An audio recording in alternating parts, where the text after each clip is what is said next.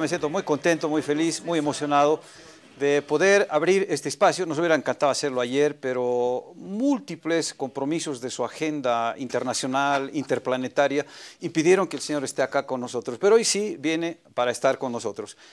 No necesita presentación, ¿qué les voy a decir? Solamente cuando lo vean se van a dar cuenta ustedes del crack que tenemos aquí en la primera edición de Aviala. ¿Sí? Vamos a presentarla. No, nada de rejilla, por Dios, vamos. ¿Quién es? A ver, muéstremelo, por favor. Mira, plano general. ¿Quién es? A ver, ¿quién es? ¿Cómo le va? ¿Cómo está? Placer Ah, saludarlo. Señor Pastel. ¿Cómo está? Es un gusto, ¿eh? Oiga, tantos años. Demasiado, Lo creo he yo. buscado, lo he rogado, lo he perseguido no, y usted nunca, nunca accedió a mis Eso- eh, eso es falso. insinuaciones. Eso es falso, que usted me, me llamó, me rogó, eso es totalmente falso. Tan falso como que el gran clásico de Bolivia es Oriente Blooming. O usted también está como vaca que anda cambiando de opinión según el No, color no, de yo, la yo no cambio de opinión. ¿No? Eh, pero, a ver, juega Strong es La Paz, pero son los equipos más antiguos. ¿No es así? Cuando la radiodifusión eh, es- estaba solamente aquí en La Paz y estaban los grandes relatores de La Paz, Sí. y resulta que teníamos las ondas largas, la onda media, y el único fútbol que se escuchaba era el fútbol de La Paz. O sea, Strong es el Bolívar, Marical Santa Cruz. Pero, y los- pero es que Espérese, acaso, eh, pero es que acaso hay otro fútbol. Digo, no sé, qué sé yo. Es una No, pregunta. o sea, es una no, pregunta. Sí, ¿cuál es la idea? A ver, no sé cuál es la idea. No sé, ¿con qué idea usted? Entonces, no. Mi idea es que el clásico nacional es Strongest Bolívar.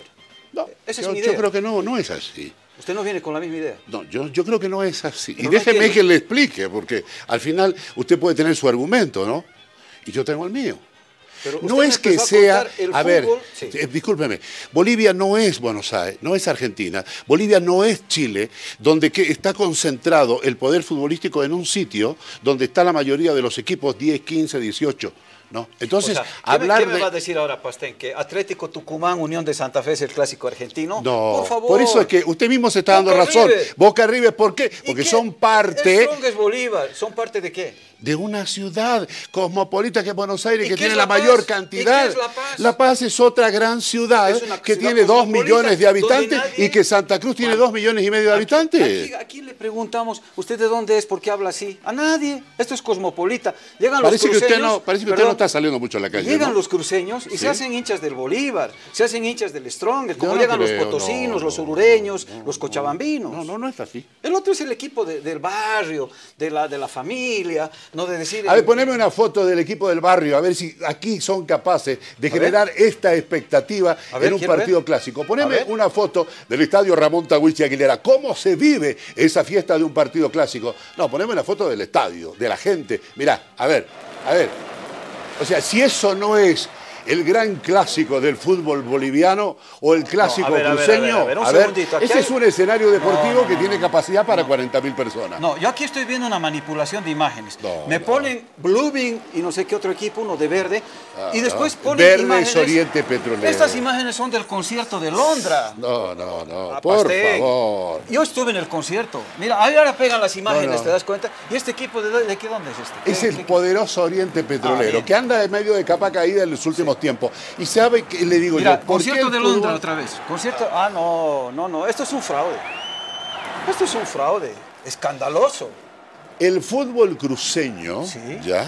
Ha evolucionado en el tiempo. Yo le digo, yo transmito fútbol Sí. aquí desde el año 1977. Correcto. Y desde el año 1977, de lo que ha ido evolucionando la misma ciudad de Santa Cruz de la Sierra, porque cuando yo voy a Santa Cruz el 81, Sí. y que usted no podía ir que del centro a la feria porque no había vías de acceso. Entonces la ciudad fue Sí. creciendo. Ese crecimiento que ha tenido Santa Cruz ha permitido también futbolísticamente que tenga otro Claro, crecimiento. un crecimiento tan extraordinario que tienen un estadio de una bandeja.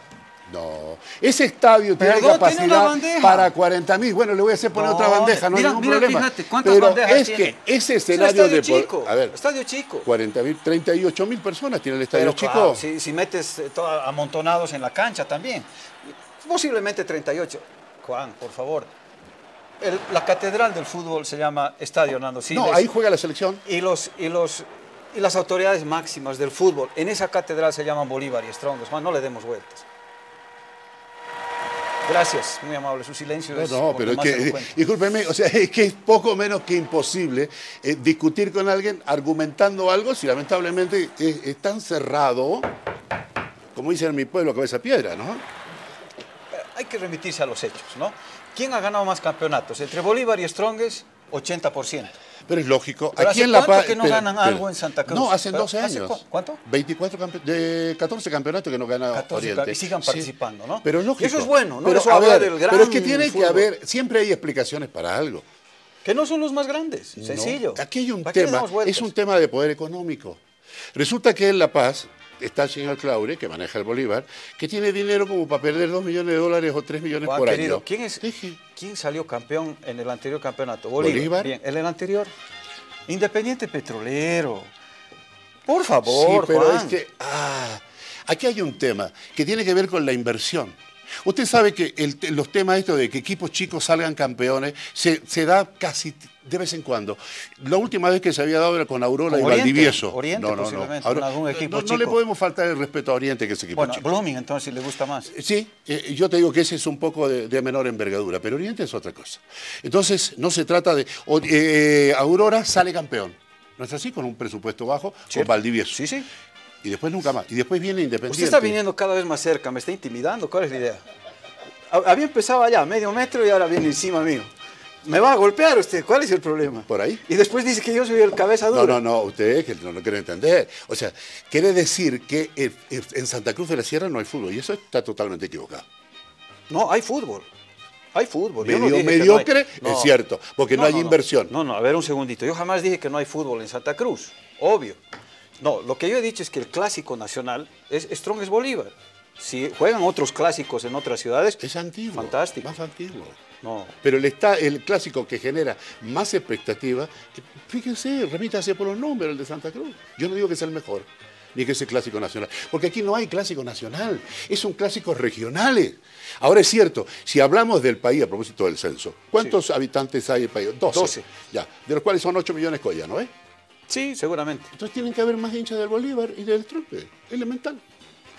Pero ¿quién llena los Por estadios? ende, por ende, No. por ende, el clásico más grande es el de los collas. Listo, Juan, ya. El tema está. Entonces vayan al estadio, cómprense una entrada. Pero vamos, pues, no hay ¿De ningún cuándo? problema. Usted no ha ido nunca al estadio. Yo voy además a... a- Usted sabe ¿Eh? que, usted no ha ido nunca al usted estadio. sabe que en Además, esto- usted era socio de un club, ni siquiera era socio, Always Ready, un equipo de 2 pesos 50, que menos mal que lo agarró la gente de los Costa, y ahora lo han puesto en un sitial.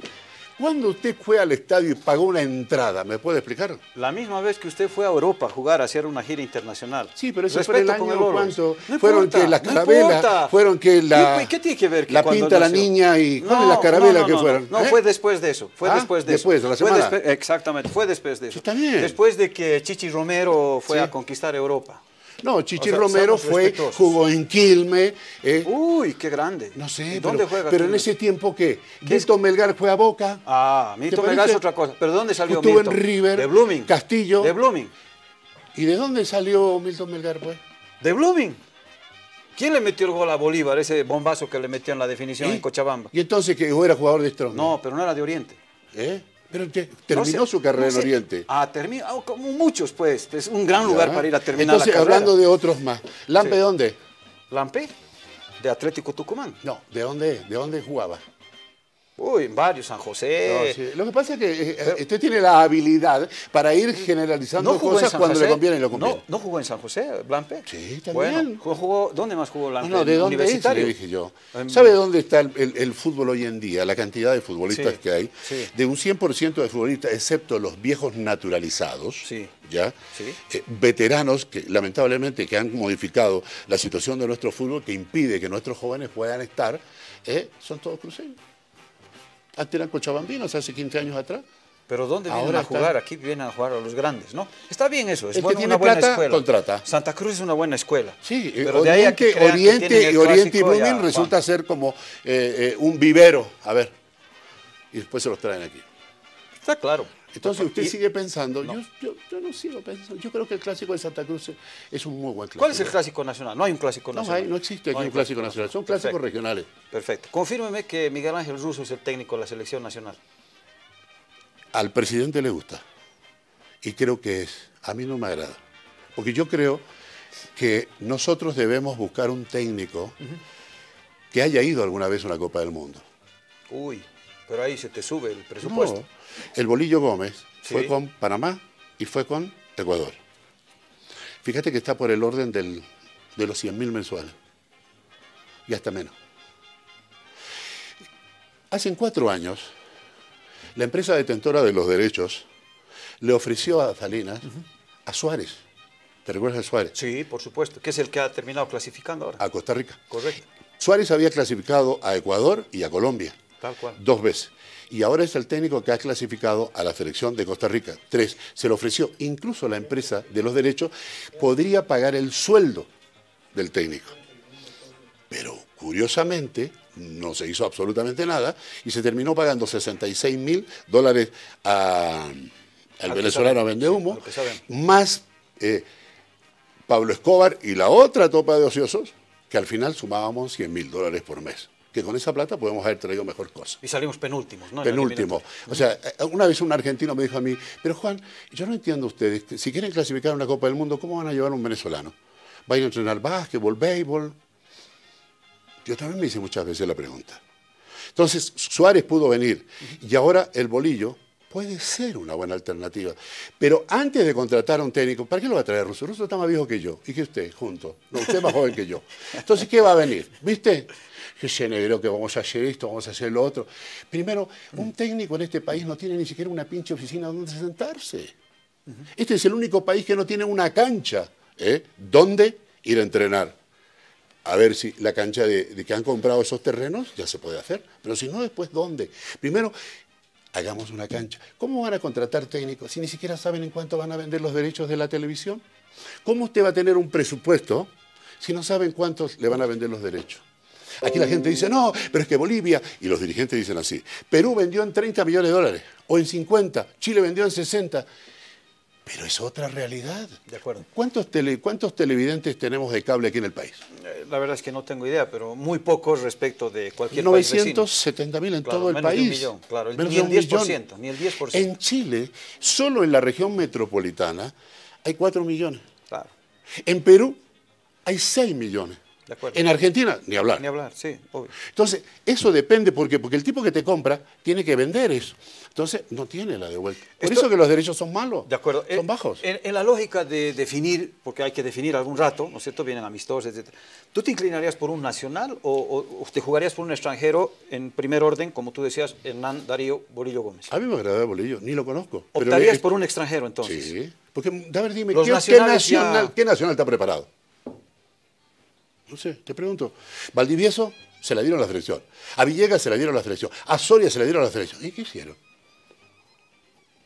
Ahora, ese es el tema del ¿Cuál heterogenio? ¿Cuál es el otro genio? A Valdivieso los hacía desfilar, los llevaba al polígono, a disparar. O sea, aquí se te ocupe la cosa más rayada y, ya está. Pero la pregunta es, ¿es el técnico el problema o, o es todo?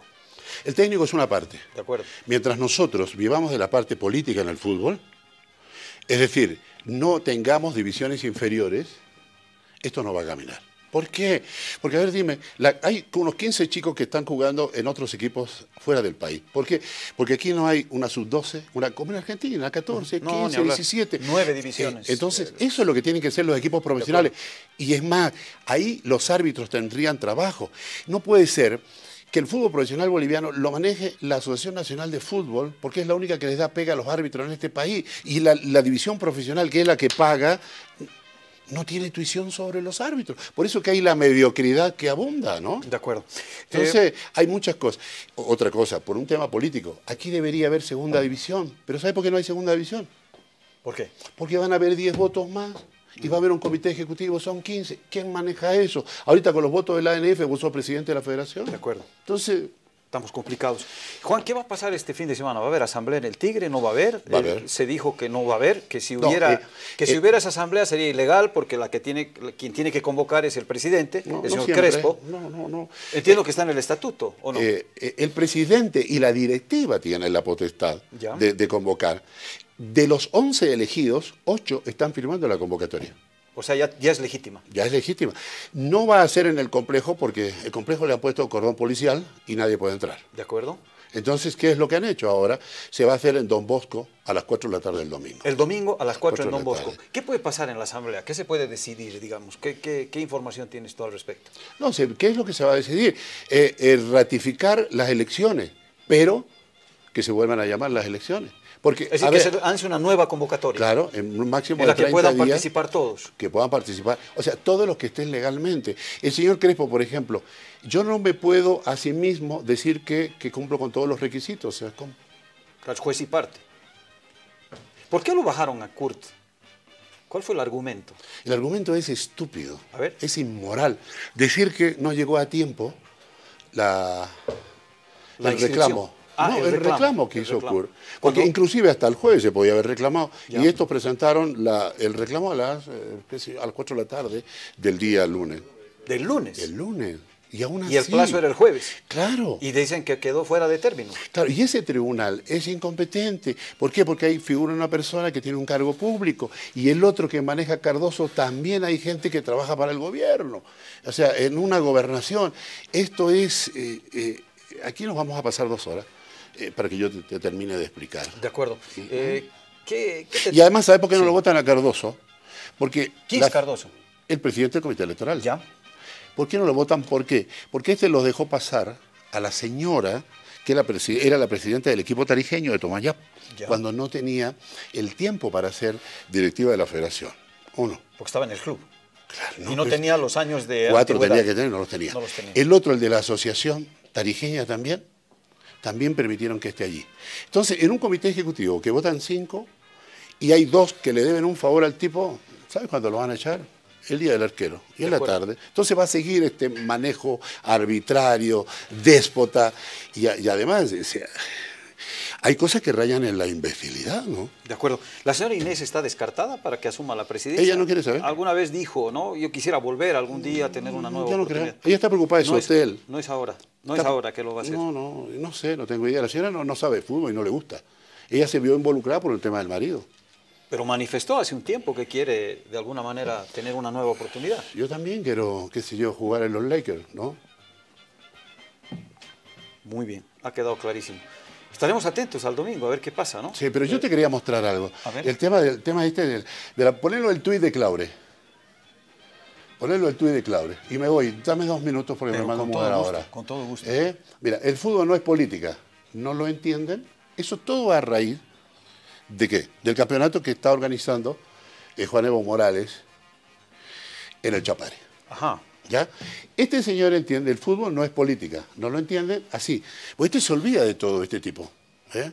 Mira vos, tengo algunas fotitos para decir que él se ha aprovechado del fútbol. Ahí está con el Evo, regalándole la camiseta. ¿Sabes por qué le regalaba la camiseta?